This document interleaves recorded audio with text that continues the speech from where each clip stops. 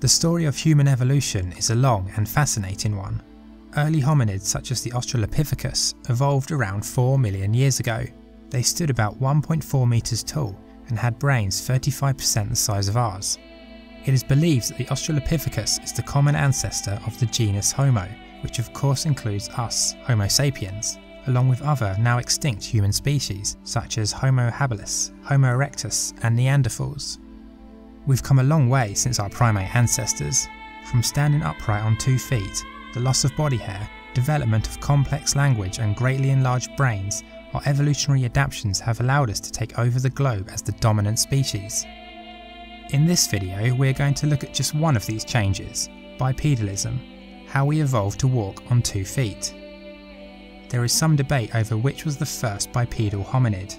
The Sahelanthropus, Orrorin and Ardipithecus all show evidence of walking on two feet as far back as 6 million years ago.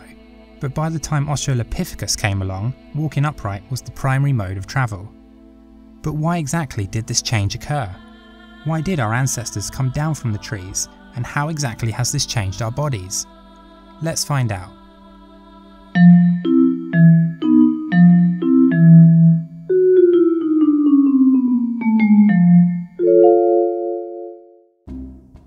There are several different theories as to why we evolved to walk on two feet, and it's likely that a combination of different factors contributed to this change, rather than there being just a single cause. The provisioning model proposed by Owen Lovejoy suggests that bipedalism was a main adaptation for pair bonding between males and females. Females would mate exclusively with the provisioning male, meaning the other males would no longer need to fight with each other over the females. The male would provide food for the females, carrying more by walking upright, whilst the females looked after their young. As revealed by fossil evidence, this theory is supported by the size reduction of the male's canine teeth and body size compared with the females, which is typical of a monogamous species. Due to changes in the climate, our environment was changing from the African forests into open savanna grasslands.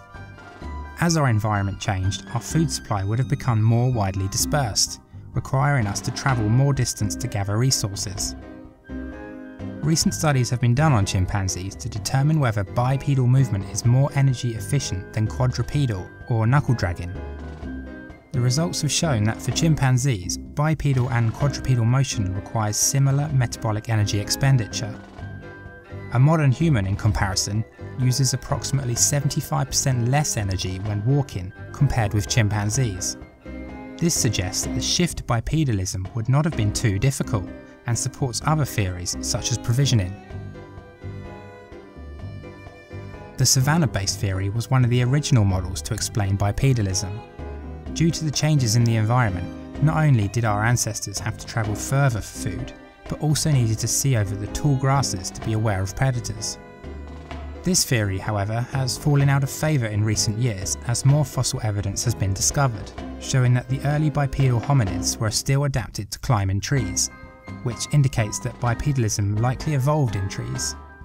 Also, early hominids such as the famous Australopithecus fossil known as Lucy would have been much shorter than we are today, so looking for predators in the tall grasses would have proven quite difficult. If bipedalism did evolve in trees, then the postural feeding hypothesis might explain why, anthropologist Kevin Hunt suggests that bipedal movements may have evolved into regular habits as they were convenient for gathering hard to reach food.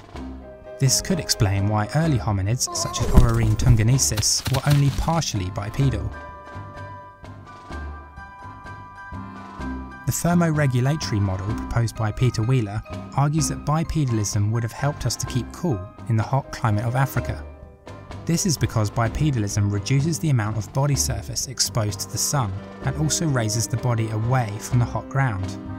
Standing up also exposes the body to greater wind flows, helping us to keep cool.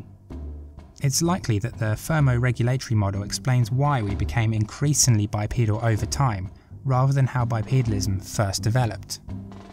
It's possible that all these different theories have some truth in them, what we do know for sure is just how our bodies have changed over time, and the price we now pay for walking upright. When you compare a Homo sapiens skeleton with an ape's, it's easy to spot the differences.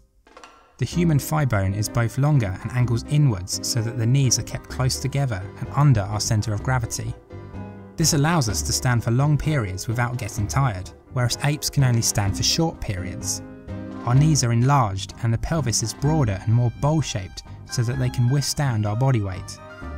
Rather than being slightly curved, the human spine is S-shaped, helping to support our head and balance our weight directly over our hips. Even though these evolutionary adaptations have occurred over millions of years, we still suffer from the effects of these changes today. Our S-shaped spines, although great for keeping our balance, have to bear the weight of our bodies. This is why millions of people suffer from back injuries, with 80% of Americans experiencing back problems at some point during their lifetime. Our knees are another common area of complaint, particularly for women as their wider pelvis means more force is put on the knee joints. These are just some of the evolutionary compromises we pay for standing upright, but they're a small price to pay. Without them, we might never have come down from the trees and taken over the world.